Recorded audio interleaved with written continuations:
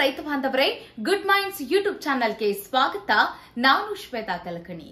ಅದೆಷ್ಟೋ ರೈತರಿಗೆ ಸಾವಯವ ಕೃಷಿಯನ್ನ ಅಳವಡಿಸ್ಕೊಳ್ಳಿ ಅಂತ ಹೇಳಿದಾಗ ಸಾವಯವ ಕೃಷಿಯಿಂದ ಇಳುವರಿ ಕಡಿಮೆ ಆಗ್ಬಿಡುತ್ತೆ. ಸಾವಯವ ಕೃಷಿಯನ್ನ ಅಳವಡಿಸ್ಕೊಂಡ್ಬಿಟ್ರೆ ದೇಶ ಬರ್ಬಾದ್ ಆಗ್ಬಿಡುತ್ತೆ ಯಾಕಂದ್ರೆ ದೇಶದ ಜನತೆಗೆ ಊಟದ ಕೊರತೆ ಆಗ್ಬಿಡತ್ತೆ, ಆಹಾರದ ಕೊರತೆ ಆಗ್ಬಿಡತ್ತೆ, ತುರ್ತು ಪರಿಸ್ಥಿತಿ ಬಂದ್ರೂ ಬರ್ಬೋದು.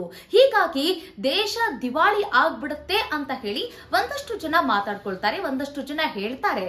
ಹಾಗಾದ್ರೆ ಸಾವಯವ ಕೃಷಿಯನ್ನ ಅಳವಡಿಸ್ಕೊಂಡ್ರೆ ಭಾರತ ದೇಶ ದಿವಾಳಿ ಆಗುತ್ತಾ ಬರ್ಬಾದ್ ಆಗ್ಬಿಡತ್ತಾ ಹಾಗಾದ್ರೆ ಒಂದಷ್ಟು ದೇಶಗಳು ಸಾವಯವ ಕೃಷಿಯನ್ನ ಅಳವಡಿಸಿಕೊಂಡಿವೆ. ಸಾವಯವ ಕೃಷಿಯ ಮೇಲೆಯೇ ಅವಲಂಬನೆಯಾಗಿವೆ. ಹಾಗಾದ್ರೆ ಇವುಗಳಲ್ಲಿ ದಿವಾಳಿ ಆಗಿರುವಂತಹ ದೇಶಗಳೆಷ್ಟು, ಉದ್ಧಾರ ಆಗಿರುವಂತಹ ದೇಶಗಳೆಷ್ಟು? ಬನ್ನಿ ನೋಡೋಣ.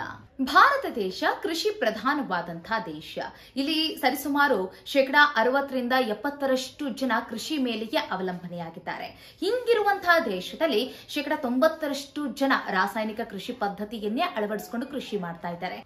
ಮೊದಲನೇದಾಗಿ ಸಾವಯವ ಕೃಷಿ ಅಂದ್ರೆ ಏನು? ರಾಸಾಯನಿಕ ಕೃಷಿ ಅಂದ್ರೆ ಏನು ಅನ್ನೋದನ್ನ ತಿಳ್ಕೊಂಡ್ಬಿಡೋಣ. ಇವುಗಳ ಮಧ್ಯೆ ಇರುವಂತಹ ಡಿಫ್ರೆನ್ಸ್ನ ಮೊದಲನೇದಾಗಿ ಅರ್ಥ ಮಾಡ್ಕೊಳ್ಳೋಣ. ಸಾವಯವ ಕೃಷಿ ಅಂದ್ರೆ ಏನು ಅಂತ ಅಂದ್ರೆ ರಸಗೊಬ್ಬರ ಬಳಕೆ ಇಲ್ಲದೆ ಸಾವಯವ ಗೊಬ್ಬರಗಳನ್ನ ಬಳಕೆ ಮಾಡಿ, ಅಂದ್ರೆ ಇನ್ನು ಸುಲಭವಾಗಿ ಹೇಳಬೇಕು ಅಂತಂದ್ರೆ ಇಲ್ಲಿ ಹೆಚ್ಚಾಗಿ ಕೊಟ್ಟಿಗೆ ಗೊಬ್ಬರಗಳನ್ನ ಬಳಸ್ತಾರೆ, ಗೋಮೂತ್ರಗಳನ್ನ ಬಳಸ್ತಾರೆ, ಜೊತೆಗೆ ಹುಳಿ ಮಜ್ಜಿಗೆ, ಮತ್ತೆ ಬೇವಿನ ಹಿಂಡಿ, ಬೇವಿನ ಸ್ಪ್ರೇಗಳನ್ನ ಕೊಡ್ತಾ ಕೃಷಿ ಮಾಡುವ ಪದ್ಧತಿಯನ್ನ ಸಾವಯವ ಕೃಷಿ ಪದ್ಧತಿ ಅಂತ ಕರೆಯಲಾಗುತ್ತೆ. ಇನ್ನು ರಾಸಾಯನಿಕ ಕೃಷಿ ಪದ್ಧತಿ ಅಂದ್ರೆ ಏನು ಅಂತ ಅಂದ್ರೆ ಇಲ್ಲಿ ಕಂಪ್ಲೀಟ್ ಕೆಮಿಕಲ್ ಮಯ. ರಸಗೊಬ್ಬರಗಳ ಬಳಕೆಯಿಂದ ಕೃಷಿ ಮಾಡುವ ಕೃಷಿ ಪದ್ಧತಿಯನ್ನ ರಾಸಾಯನಿಕ ಕೃಷಿ ಪದ್ಧತಿ ಅಂತ ಹೇಳ್ತಾರೆ. ಒಂದು ವೇಳೆ ಇಲ್ಲಿ ಏನಾದ್ರೂ ಬೆಳೆಗಳಿಗೆ ಕೀಟಬಾಧೆ ಏನಾದ್ರೂ ಆವರಿಸ್ಕೊಳ್ತು ಅಂತ ಅಂದ್ರೆ ಇವರು ಪೆಸ್ಟಿಸೈಡ್ಗಳ ಮೂಲಕ ಇವರು ಕಂಟ್ರೋಲ್ಗೆ ತೆಗೆದುಕೊಳ್ತಾರೆ. ಅಂದ್ರೆ ಇವರು ಬೇವಿನ ಗಿಣಿ ಆಮೇಲೆ ಹುಳಿ ಮಜ್ಜಿಗೆ ಈ ರೀತಿಯಾದಂತಹ ಫಾರ್ಮುಲಾಕ್ ಹೋಗೋದಿಲ್ಲ. ಇವರು ಕೆಮಿಕಲ್ ನಲ್ಲೇ ಏನೇ ಸಮಸ್ಯೆಗಳು ಬಂದ್ರು ನಿರ್ವಹಣೆಯನ್ನ ಮಾಡ್ತಾರೆ. ಇದಕ್ಕೆ ರಾಸಾಯನಿಕ ಕೃಷಿ ಪದ್ಧತಿ ಅಂತ ಹೇಳಲಾಗುತ್ತೆ. ಈಗ ಸಾವಯವ ಕೃಷಿಗೂ ರಾಸಾಯನಿಕ ಕೃಷಿಗೂ ಯಾವುದರಲ್ಲಿ ಖರ್ಚು ವೆಚ್ಚ ಹೆಚ್ಚಾಗತ್ತೆ ಅಂತ ಅಂದ್ರೆ ಸಾವಯವ ಕೃಷಿಯಲ್ಲಿ ನಾವು ನೋಡಿದ್ರೆ ಖರ್ಚು ಕಡಿಮೆ, ಆದ್ರೆ ಇಳುವರಿನೂ ಕಡಿಮೆ ಅಂತ ಹೇಳಲಾಗುತ್ತೆ. ಹೇಗೆ ಅಂತ ಅಂದ್ರೆ ಇಲ್ಲಿ ಕೊಟ್ಟಿಗೆ ಗೊಬ್ಬರ ಸಿಗತ್ತೆ, ಮತ್ತೆ ಗೋಮೂತ್ರ, ಮತ್ತೆ ಈ ಬೇವಿನ ಹಿಂಡಿ, ಬೇವಿನ ಸ್ಪ್ರೇ, ಮತ್ತೆ ಹುಳಿ ಮಜ್ಜಿಗೆ, ಮತ್ತೆ ಜೀವಾಮೃತ, ಇದೆಲ್ಲವನ್ನು ಕೂಡ ನಾವು ಕಡಿಮೆ ಖರ್ಚಿನಲ್ಲಿ, ಮತ್ತೆ ಶೂನ್ಯ ಬಂಡವಾಳದಲ್ಲೂ ಕೂಡ ನಾವು ಮಾಡುವಂತಹ ಕೃಷಿ ಅಂತಾನೂ ಕೂಡ ನಾವು ಹೇಳ್ಬೋದು. ಇಲ್ಲಿ ಹಾಗಾಗಿ ಖರ್ಚು ಕಡಿಮೆ. ಮತ್ತೆ ಕೃಷಿ ಭೂಮಿ ಫಲವತ್ತಾಗಿರುತ್ತೆ. ಮೇನ್ ಥಿಂಗ್ ಇದು, ಕೃಷಿ ಭೂಮಿ ಫಲವತ್ತಾಗಿರುತ್ತೆ. ಸಾವಯವ ಇಂಗಾಲ ಹೆಚ್ಚಾಗುತ್ತೆ. ಹಾಗಾಗಿ, ನೈಸರ್ಗಿಕವಾಗಿಯೇ ಕೃಷಿ ಮಾಡುವಂತಹ ಈ ಪದ್ಧತಿಯನ್ನ ಸಾವಯವ ಕೃಷಿ ಪದ್ಧತಿ ಅಂತಾರೆ. ಮತ್ತೆ, ಸಾವಯವ ಕೃಷಿ ಪದ್ಧತಿಯಲ್ಲಿ ರೈತರಿಗೆ ಚಿಂತೆಗಳು ತುಂಬಾ ಕಡಿಮೆ ಅಂತ ಹೇಳಲಾಗುತ್ತೆ. ಅದೇ ರಾಸಾಯನಿಕ ಕೃಷಿ ಪದ್ಧತಿ ವಿಚಾರಕ್ಕೆ ಅಂತ ಹೋದ್ರೆ, ಇಲ್ಲಿ ಏನೇ ಸಮಸ್ಯೆಗಳು ಅಂತ ಬಂದ್ರೂ ಕೂಡ ಇಲ್ಲಿ ರಾಸಾಯನಿಕ ಸ್ಪ್ರೇ, ರಾಸಾಯನಿಕ ಗೊಬ್ಬರಗಳನ್ನ ಇವರು ಅವುಗಳಿಂದಲೇ ಇವರು ನಿರ್ವಹಣೆಯನ್ನ ಮಾಡ್ತಾ ಕೃಷಿಯನ್ನ ಮಾಡ್ತಿರ್ತಾರೆ. ಇದು ಭಾರತ ದೇಶಕ್ಕೆ ಯಾವಾಗಿನಿಂದ ರಾಸಾಯನಿಕ ಕೃಷಿ ಪದ್ಧತಿ ಪರಿಚಯ ಆಯ್ತು, ಮತ್ತೆ ಯಾಕೆ ಪರಿಚಯ ಮಾಡಿದ್ರು, ಯಾಕೆ ರಾಸಾಯನಿಕ ಕೃಷಿಯನ್ನ ಅಳವಡಿಸಿಕೊಳ್ಳಿಕ್ಕೆ ಮುಂದಾದ್ರು ಅನ್ನೋದನ್ನ ಹಿಸ್ಟ್ರಿ ನೋಡೋಣ. ಭಾರತ ದೇಶದಲ್ಲಿ ಇಪ್ಪತ್ತನೇ ಶತಮಾನದವರೆಗೂ ಕೂಡ ಸಾಂಪ್ರದಾಯಿಕ ಕೃಷಿ ಪದ್ಧತಿ, ಸಾವಯವ ಕೃಷಿಯನ್ನೇ ಅಳವಡಿಸಿಕೊಂಡು ಬೆಳೆಯನ್ನ ಬೆಳೀತಾ ಇದ್ರು, ಇಳುವರಿಯನ್ನ ಪಡಿತಾ ಇದ್ರು, ಹಾಗೆ ದೇಶದ ಜನತೆಗೆ ಆಹಾರವನ್ನ ಕೊಡ್ತಾ ಇದ್ರು, ಊಟ ಹಾಕ್ತಾ ಇದ್ರು. ಆದ್ರೆ ಏನಾಯ್ತು ಅಂತಂದ್ರೆ ದಿಢೀರ್ ಅಂತ ಜನಸಂಖ್ಯೆ ಹೆಚ್ಚಾಗಿರುವಂತ ಕಾರಣಕ್ಕಾಗಿ ಎಲ್ರಿಗೂ ಕೂಡ ಊಟ ಹಾಕಬೇಕು. ಆಗ ಇಳುವರಿ ನೋಡಿದ್ರೆ ಕಡಿಮೆ ಬರ್ತಾ ಇದೆ. ಇಂತಹ ಸಂದರ್ಭದಲ್ಲಿ ಎಲ್ರಿಗೂ ಊಟ ಹಾಕಬೇಕು ಅಂತಂದ್ರೆ ಆಹಾರವನ್ನ ಎಲ್ಲಿಂದ ತರಬೇಕು ಅನ್ನೋ ಒಂದು ಒಂದು ಚಿಂತನೆ ಹೆಚ್ಚಾಯ್ತು. ಸೊ ಆ ಸಂದರ್ಭದಲ್ಲಿ ರಾಸಾಯನಿಕ ಬಳಕೆಗಳನ್ನ ಮಾಡ್ತಾ ಹೆಚ್ಚು ಇಳುವರಿಯನ್ನ ಪಡಿತಾ, ಅಂದ್ರೆ ಆ ಸಂದರ್ಭ ತುರ್ತು ಪರಿಸ್ಥಿತಿ ನಿರ್ಮಾಣ ಆಗಿರುವಂತಹ ಸಂದರ್ಭದಲ್ಲಿ ಅವತ್ತು ಎಲ್ರಿಗೂ ಕೂಡ ಊಟ ಹಾಕಬೇಕಾಗಿರುವಂತಹ ಅನಿವಾರ್ಯತೆ ಇತ್ತು. ಹೀಗಾಗಿ ಅವತ್ತು ರಾಸಾಯನಿಕ ಗೊಬ್ಬರದ ಬಳಕೆ ಆಯ್ತು, ಮತ್ತೆ ಪರಿಚಯವೂ ಆಯ್ತು. ಆದ್ರೆ ಈಗ ರಾಸಾಯನಿಕ ಗೊಬ್ಬರದ ಬಳಕೆ ಇಲ್ಲದೆ ಕೃಷಿ ಮಾಡ್ಲಿಕ್ಕೆ ಆಗೋದೇ ಇಲ್ಲ ಅಂತ ಇದ್ದಾರೆ ರೈತರು. ಇಳುವರಿಯನ್ನ ಹೆಚ್ಚಿಸಬೇಕು, ದೇಶದ ಜನತೆಗೆ ಊಟ ಹಾಕಬೇಕು ಎಂಬಂತ ಆಲೋಚನೆಯಲ್ಲಿದ್ದಂತ ಭಾರತ ದೇಶಕ್ಕೆ ಒಂದು ದಿನ ಅರ್ಥ ಆಗತ್ತೆ. ನಾವು ಹೀಗೆ ರಾಸಾಯನಿಕಗಳ ಬಳಕೆಯನ್ನ ಮಾಡ್ತಾ ಹೋದ್ರೆ ಭೂಮಿ ತನ್ನ ಸತ್ವವನ್ನ ಕಳೆದುಕೊಳ್ಳುತ್ತೆ, ಫಲವತ್ತತೆಯನ್ನ ಕಳೆದುಕೊಳ್ಳುತ್ತೆ. ಹೀಗಾಗಿ ಸಾವಿರದ ಒಂಬೈನೂರ ತೊಂಬತ್ತರ ನಂತರ ಭಾರತ ದೇಶ ಸಾವಯವ ಕೃಷಿಗೆ ಮತ್ತು ಹೆಚ್ಚಿನ ಉತ್ತೇಜನ ನೀಡಲಿಕ್ಕೆ ಶುರು ಮಾಡುತ್ತೆ ಮತ್ತೆ ಎಲ್ರಿಗೂ ಹೇಳಲಿಕ್ಕೆ ಶುರು ಮಾಡುತ್ತೆ. ಸಾವಯವ ಕೃಷಿಯನ್ನ ಅಳವಡಿಸ್ಕೊಳ್ಳಿ, ಮಣ್ಣು ಹಾಳಾಗುತ್ತೆ, ಫಲವತ್ತತೆಯನ್ನ ಕಳೆದುಕೊಳ್ಳುತ್ತೆ ಅಂತ ಹೇಳ್ತಾ ಇದೆ. ಆದ್ರೆ ಹೆಚ್ಚಿನ ಪ್ರಮಾಣದಲ್ಲಿ ರಸಗೊಬ್ಬರಗಳ ಬಳಕೆಗೆ ಆಗ್ತಾ ಇದೆ. ರಾಸಾಯನಿಕ ಕೃಷಿಯಿಂದ ಇಷ್ಟೆಲ್ಲ ಅನಾನುಕೂಲಗಳು ಇದ್ರೂ ಕೂಡ ರೈತರು ಯಾಕೆ ರಾಸಾಯನಿಕ ಕೃಷಿಗೆ ಜೈ ಜೈ ಅಂತಾರೆ? ಯಾಕೆ ರಾಸಾಯನಿಕ ಕೃಷಿ ಪದ್ಧತಿಯನ್ನೇ ಅಳವಡಿಸ್ಕೊಳ್ಳಿಕ್ಕೆ ಮುಂದಾಗ್ತಾರೆ ಅಂತ ಅಂದ್ರೆ, ಇಲ್ಲಿ ಏನು ಅಂತಂದ್ರೆ ಸರಳ ವಿಧಾನ ಅನ್ನೋ ಒಂದು ಕಾರಣಕ್ಕಾಗಿ. ಅಂದ್ರೆ ರಾಸಾಯನಿಕ ಗೊಬ್ಬರಗಳನ್ನ ತಾ, ಉಗ್ಗು, ತಾ, ಹಾಕು, ಇಷ್ಟೇ. ಆದ್ರೆ ಸಾವಯವ ಕೃಷಿಯಲ್ಲಿ ಇವ್ರೇನಂತಂದ್ರೆ ಒಂದಿಷ್ಟು ಫಾರ್ಮುಲಾಗಳನ್ನ ಇಲ್ಲಿ ಅಳವಡಿಕೆಯನ್ನ ಮಾಡ್ಕೊಳ್ಬೇಕು. ಮತ್ತೆ ಕಾಯುವಿಕೆ ಇಲ್ಲಿ ಹೆಚ್ಚು. ಕಾದು ಇವರು ಕೃಷಿಯನ್ನ ಮಾಡಬೇಕಾಗುತ್ತೆ. ಹೀಗಾಗಿ ಜನಕ್ಕೆ ಈಗ ಯಾರಿಗೂ ಕೂಡ ಟೈಮ್ ಇಲ್ಲ ನೋಡಿ. ಹೀಗಾಗಿ ಯಾವುದು ಸಡನ್ ಆಗಿ ಎಫೆಕ್ಟ್ ಕೊಡುತ್ತಲ್ಲ, ಅದರ ಬಗ್ಗೆ ಎಲ್ಲರೂ ಕೂಡ ಮುತುವರ್ಜಿಯನ್ನ ವಹಿಸ್ತಾರೆ ಅಂತ ಹೇಳ್ಬೋದು. ಹೀಗಾಗಿ ಖರ್ಚು ಜಾಸ್ತಿ ಆದ್ರೂ ಪರವಾಗಿಲ್ಲ. ನಮಗೆ ಅಂದ್ರೆ ತಕ್ಷಣಕ್ಕೆ ನಮಗೆ ಇಲ್ಲಿ ಹೆಚ್ಚು ಇಳುವರಿ ಬರುತ್ತಲ್ಲ, ಅದು ನಮಗೆ ಮೊದಲ ಆದ್ಯತೆ, ಮೊದಲ ಕಾರಣ. ಹೀಗಾಗಿ ರಾಸಾಯನಿಕ ಕೃಷಿ ಪದ್ಧತಿಯ ಮೊರೆ ಹೋಗ್ತಾರೆ ನಮ್ಮ ರೈತರು. ಸಾವಯವ ಕೃಷಿನ ಯಾಕೆ ಕೈ ಬಿಡ್ತಾ ಇದ್ದಾರೆ? ಸಾವಯವ ಕೃಷಿ ಮೇಲೆ ಯಾಕೆ ರೈತರು ಮನಸ್ಸು ಮಾಡ್ತಾ ಇಲ್ಲ ಅಂತ ಅಂದ್ರೆ ಸಾವಯವ ಕೃಷಿ ಹೆಚ್ಚು ಸಮಯವನ್ನ ತೆಗೆದುಕೊಳ್ಳುತ್ತೆ. ಯಾಕೆ ಅಂತಂದ್ರೆ ಯಾಕೆ ಕಾಯ್ಬೇಕು ಸಾವಯವ ಕೃಷಿಗೆ? ಸಾವಯವ ಕೃಷಿ ಯಾಕೆ ಕಾಯಿಸುತ್ತೆ ಅಂತ ಅಂದ್ರೆ ಇವರು ಇಷ್ಟು ದಿನ ರಾಸಾಯನಿಕ ಕೃಷಿಯನ್ನ ಅಳವಡಿಸಿಕೊಂಡಿರುವ ಕಾರಣಕ್ಕಾಗಿ, ರಾಸಾಯನಿಕ ಗೊಬ್ಬರಗಳನ್ನ ಅಪ್ಲೈ ಮಾಡಿರೋ ಕಾರಣಕ್ಕಾಗಿ ಮಣ್ಣು ತನ್ನ ಸತ್ವವನ್ನ ಕಳೆದುಕೊಂಡಿರುತ್ತೆ, ಭೂಮಿ ಫಲವತ್ತತೆಯನ್ನ ಕಳೆದುಕೊಂಡಿರುತ್ತೆ. ಈಗ ಪುನಃ ಭೂಮಿ ಫಲವತ್ತಾಗಬೇಕು, ಮಣ್ಣಿನಲ್ಲಿ ಜೈವಿಕ ಚಟುವಟಿಕೆಗಳು ಮತ್ತೆ ರೀಕ್ರಿಯೇಷನ್ ಆಗಬೇಕು, ಇದೆಲ್ಲದಕ್ಕೂ ಕೂಡ ಸಮಯ ತೆಗೆದುಕೊಂಡೇ ತೆಗೆದುಕೊಳ್ಳುತ್ತೆ. ಹೀಗಿರುವಂತಹ ಸಂದರ್ಭದಲ್ಲಿ ರೈತರು ತಾಳ್ಮೆಯಿಂದ ವೇಟ್ ಮಾಡಿ ಕೃಷಿಯನ್ನ ಮಾಡಿದ್ರೆ ಇಲ್ಲಿ ಉತ್ತಮವಾದಂತ ಇಳುವರಿಯನ್ನ ಪಡಿಲಿಕ್ಕೆ ಸಾಧ್ಯ. ಇಲ್ಲಿ ಏನು ಅಂತಂದ್ರೆ ಮೇನ್ ಥಿಂಗ್ ವರ್ಷದಿಂದ ವರ್ಷಕ್ಕೆ ಇಳುವರಿ ಹೆಚ್ಚಾಗತೊಡಗುತ್ತೆ. ಅದೇ ನೀವು ರಾಸಾಯನಿಕ ಕೃಷಿ ಪದ್ಧತಿಗೆ ಅಂತ ಬಂದ್ರೆ, ವರ್ಷದಿಂದ ವರ್ಷಕ್ಕೆ ಇಳುವರಿ ಕಡಿಮೆ ಆಗುತ್ತೆ. ಯಾಕೆ ಅಂತ ಅಂದ್ರೆ ವರ್ಷದಿಂದ ವರ್ಷಕ್ಕೆ ನಿಮ್ಮ ಭೂಮಿ ಸತ್ವವನ್ನ ಕಳೆದುಕೊಳ್ತಾ ಇರುತ್ತೆ. ಅದೇ ಸಾವಯವ ಕೃಷಿಯಲ್ಲಿ ಭೂಮಿ ಸತ್ವವನ್ನ ಹೆಚ್ಚಿಸಿಕೊಳ್ತಾ ಇರುತ್ತೆ, ಭೂಮಿ ಇನ್ನಷ್ಟು ಫಲವತ್ತಾಗ್ತಾ ಇರುತ್ತೆ, ಸಾವಯವ ಇಂಗಾಲ ಹೆಚ್ಚಾಗ್ತಾ ಇರುತ್ತೆ. ಈ ಕಾರಣಕ್ಕಾಗಿ ಸಾವಯವ ಕೃಷಿಯನ್ನ ಅಳವಡಿಸಿಕೊಂಡ್ರೆ ಉತ್ತಮ ಅಂತ ಹೇಳ್ತಾರೆ. ಹಂಡ್ರೆಡ್ ಪರ್ಸೆಂಟೇಜ್ ಸಾವಯವ ಕೃಷಿಯನ್ನ ಅಳವಡಿಸಿಕೊಂಡಂತಹ ಶ್ರೀಲಂಕಾ ದೇಶ ಯಾಕೆ ದಿವಾಳಿ ಆಯಿತು ಅನ್ನೋದನ್ನ ನೋಡ್ತಾ ಹೋಗೋಣ. ಈಗ ಅವ್ರಿಗೆ ಒಂದು ದಿನ ಸಡನ್ ಆಗಿ ಮನವರಿಕೆ ಆಗ್ಬಿಡತ್ತೆ. ಹೌದು, ನಾವು ಕೃಷಿ ಭೂಮಿಯನ್ನ ಹಾಳು ಮಾಡ್ತಾ ಇದ್ದೀವಿ.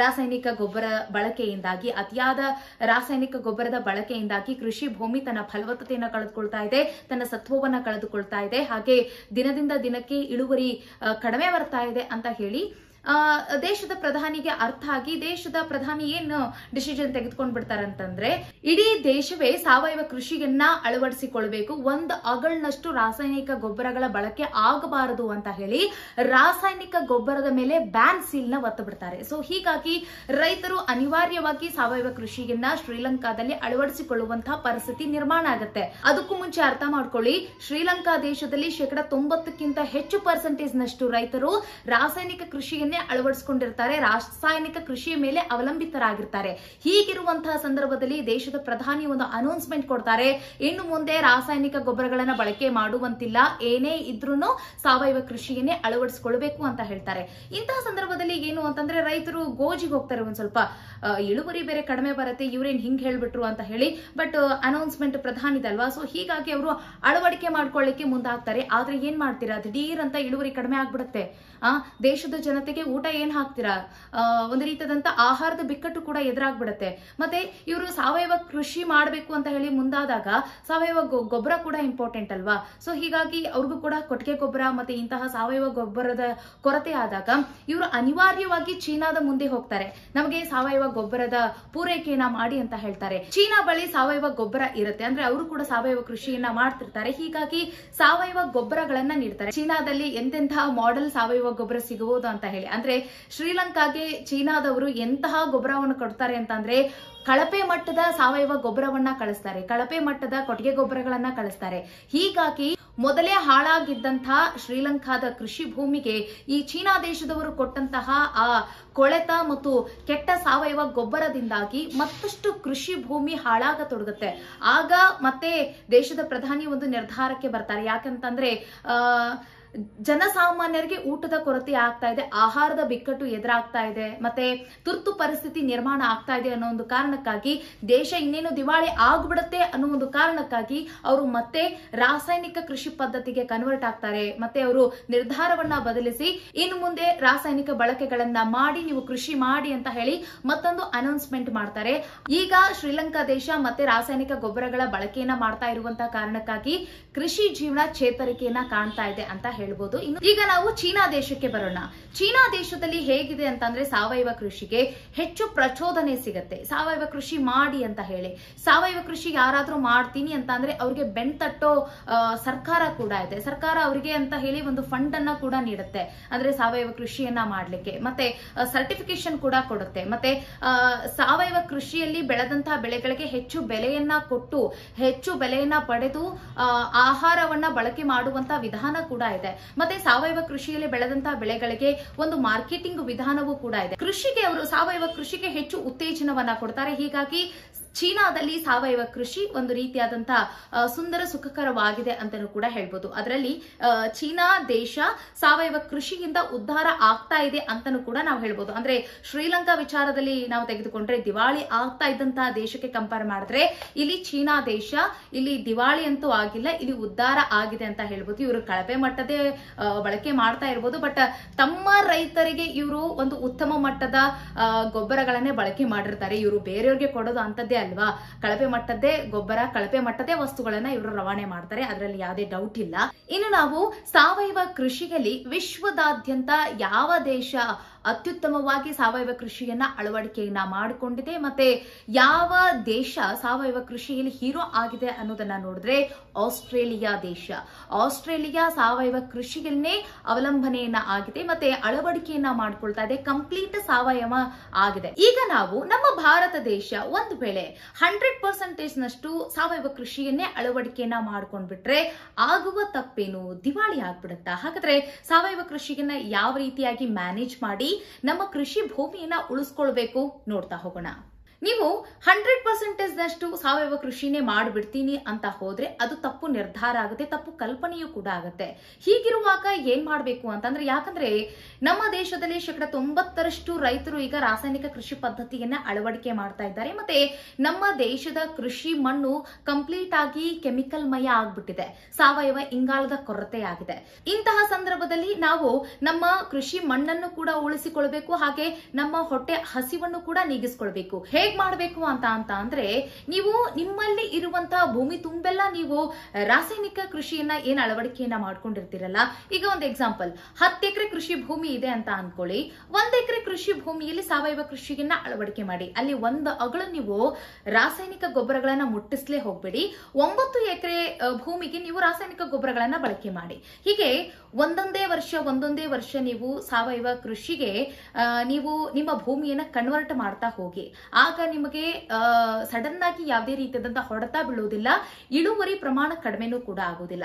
ಒಂದು ಕಡೆ ನಿಮ್ಮ ಭೂಮಿ ಸಜ್ಜಾಗ್ತಾ ಇರುತ್ತೆ, ನಿಮ್ಮ ಭೂಮಿ ಚೇತರಿಸ್ಕೊಳ್ತಾ ಇರುತ್ತೆ, ಇನ್ನೊಂದು ಕಡೆಗೆ ನೀವು ಅಂದುಕೊಂಡಂತ ಇಳುವರಿ ಕೂಡ ಸಿಗ್ತಾ ಇರುತ್ತೆ. ಸೊ ಇಂತಹ ನಿರ್ಧಾರವನ್ನ ದೇಶ ತೆಗೆದುಕೊಂಡಾಗ ಅಲ್ಲಿ ಸಾವಯವ ಕೃಷಿ ಸಮೃದ್ಧವಾಗಿ ನಡೆಯುತ್ತೆ, ಮತ್ತೆ ಕೃಷಿ ಭೂಮಿಯು ಕೂಡ ಉಳಿಯುತ್ತೆ ಅಂತ ನಾವು ಹೇಳ್ಬೋದು. ಅಷ್ಟೇ ಅಲ್ಲ, ನಮ್ಮ ಭಾರತ ಸರ್ಕಾರವೂ ಕೂಡ ಸಾವಯವ ಕೃಷಿಗೆ ಹೆಚ್ಚಿನ ಉತ್ತೇಜನವನ್ನ ಕೊಡಬೇಕು. ಮತ್ತೆ ಯಾರೆಲ್ಲ ಸಾವಯವ ಕೃಷಿಯನ್ನ ಮಾಡ್ತೀವಿ ಅಂತ ಬರ್ತಾರಲ್ಲ, ಅವರಿಗೆ ಬೆನ್ನು ತಟ್ಟುವಂತಹ ಕೆಲಸವನ್ನ ಮಾಡಬೇಕು. ಮತ್ತೆ ಅವರಿಗೆ ಸರ್ಟಿಫಿಕೇಶನ್ ಅನ್ನ ಕೊಡಬೇಕು. ಮತ್ತೆ ಹೆಚ್ಚಿನ ಬೆಲೆಗೆ ಜನಸಾಮಾನ್ಯರು ಕೊಂಡುಕೊಳ್ಳುವಂತಹ ಒಂದು ವಿಧಾನವನ್ನ ಇಲ್ಲಿ ಸೃಷ್ಟಿ ಮಾಡಬೇಕು. ಮತ್ತೆ ಜನರು ಕೂಡ, ಅಂದ್ರೆ ನಮ್ಮ ರೈತರು ಕೂಡ ಸಾವಯವ ಕೃಷಿಯನ್ನ ಮಾಡ್ಲಿಕ್ಕೆ ಮುಂದಾಗುವಂತಹ ತರಬೇತಿಗಳನ್ನ ಅವರಿಗೆ ಕೊಡಲು ಮುಂದಾಗಬೇಕು. ಮತ್ತೆ ನಮ್ಮ ಸಾರ್ವಜನಿಕರಿಗೂ ಕೂಡ ಅರ್ಥ ಮಾಡಿಸ್ಬೇಕು. ಸಾವಯವ ಕೃಷಿಯಲ್ಲಿ ಬೆಳೆದಿರುವಂತಹ ಆಹಾರವನ್ನ ನಾವು ಸೇವಿಸಿದರೆ ನಮ್ಮ ಆರೋಗ್ಯಕ್ಕೆ ಆಗುವಂತಹ ಉಪಯೋಗಗಳೇನು ಎಂಬುದರ ಬಗ್ಗೆಯೂ ಕೂಡ ಮಾಹಿತಿಯನ್ನ ರವಾನೆ ಮಾಡಬೇಕು. ಹೀಗಿದ್ದಾಗ ಸಾವಯವ ಕೃಷಿಯ ಮೇಲೆ ಹೆಚ್ಚು ಪ್ರೀತಿ ಬರುತ್ತೆ. ಹಾಗೆ